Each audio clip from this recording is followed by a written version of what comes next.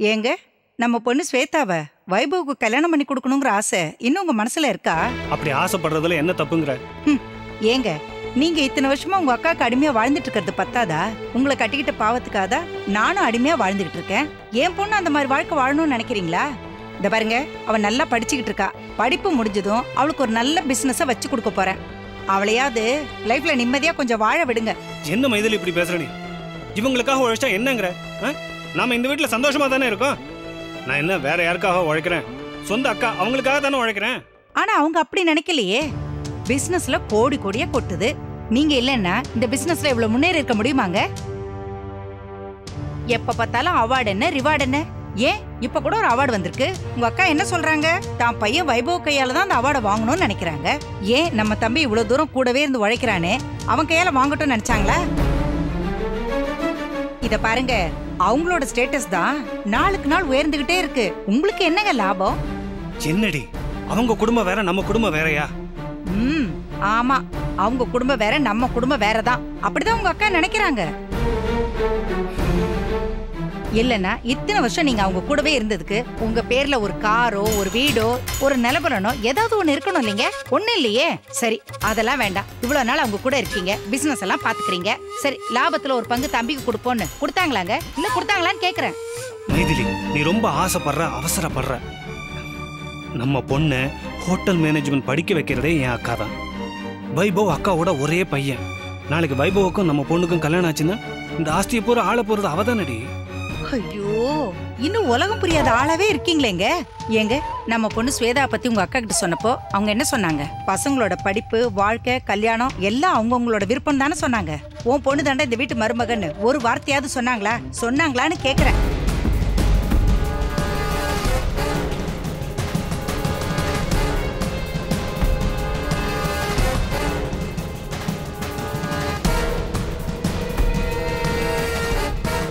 மனசுல தாங்க அந்த மாதிரி ஒரு எண்ணம் இருக்கு. ஆனா உங்க அக்கா மனசுல அந்த மாதிரி எண்ணமே கிடையாது. பணம் இருக்கிறவங்க எப்படி வேணா எப்ப வேணாலும் தான் மனசை மாத்திப்பாங்க. ஆனா இதையெல்லாம் நினைச்சு வீணா என் மனசுல ஒரு கற்பனை கோட்டை கட்டிக்க நான் தயாரா இல்ல. இத பாருங்க உங்களுக்கு ஒண்ணு சொல்லி வைக்கிறேன். வீணா இந்த மாதிரி ஆசைங்களை என் பொண்ணு மனசுலயும் தூண்டி விடாதீங்க சொல்லிட்டேன்.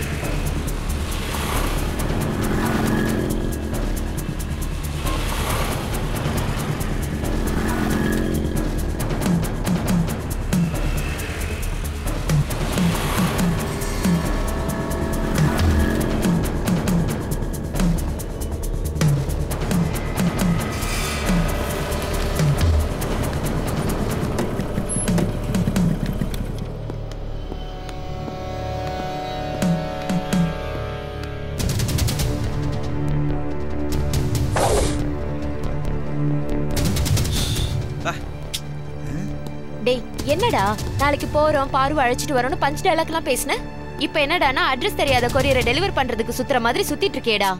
எந்த வீட்டுக்கு போனாலும் முதல்ல அந்த வீட்டில் இருக்கிற அட்மாஸ்பியர் ஸ்டடி பண்ணணும். வெளியில நாய்கள் ஜாக்கிறதுன்னு போர்டு இல்ல. ஆனா உள்ள பாரோட அண்ணன் இருக்கான். ஏண்டா நாங்க ஷூட்டிங் லொகேஷன் பார்க்க போனாலே இதெல்லாம் யோசிக்க மாட்டோம். நீ எப்படி கரெக்டா பார்வோட அண்ணன் உள்ள இருக்கான்னு சொல்ற? அது வந்து அது என்ன பெரிய இதா? அவங்க அண்ணன் வண்டி வெளியில இருக்கும் அதை வச்சு இவன் சொல்லிருப்பான் இன்னைக்குன்னு பார்த்து அவங்க அண்ணன் வண்டி பஞ்சர் ஆகி அவன் ஆட்டோல போயிருக்கலாம் இல்லையா? நான் எப்படி கண்டுபிடிச்சேன்னா அவன் வீட்டை கிராஸ் பண்ணி வரும்போது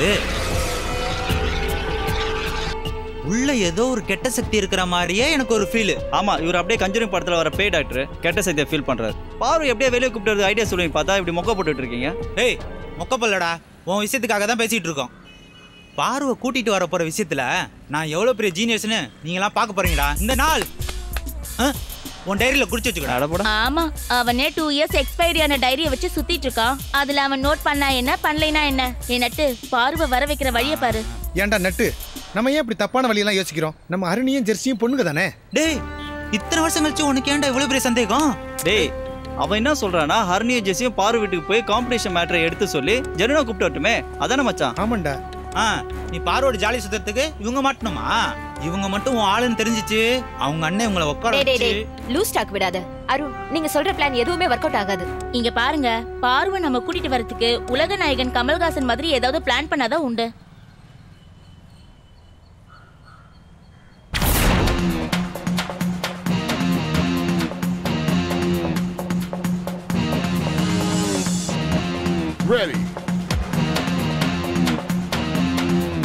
Drop that.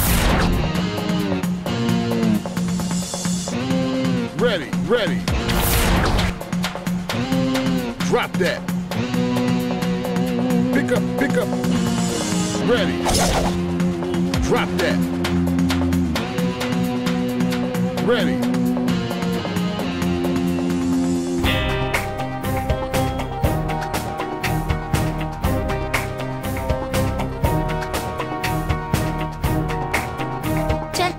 லொகேஷன்ல எந்த யோசனையும் வரவே மாட்டேங்குது. பேசாம நம்ம வேற ஏதாவது லொகேஷன்ல போய் யோசிப்போமா? Change of location change of தாட்ட கொடுக்கும்ல. அப்ப நம்ம ரூம் போட்டு யோசிக்கலாமா? சூப்பர் ஐடியாடா அப்படியே இன்டர்நேஷனல் லெவல்ல ஒரு விளம்பர படம் எடுக்கிற மாதிரியே ஒரு பில்டப் நீ எடுக்கிறது ஒரு சுதா சோப்பு விளம்பரம். அதுக்கு கூட்டிட்டு வர போறது பார்வை. அதுக்கு தகுந்தாப்புல யோசினி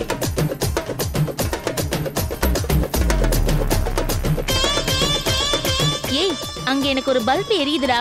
உனக்கு எரியல ஐயோ அங்க பாரு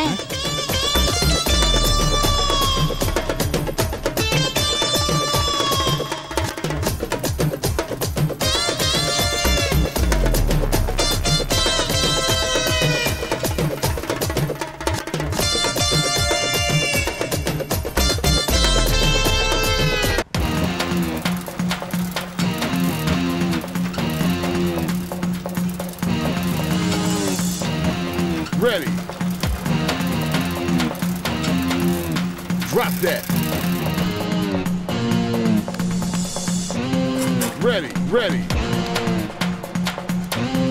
Drop that. Pick up, pick up. Ready. Drop that. Ready.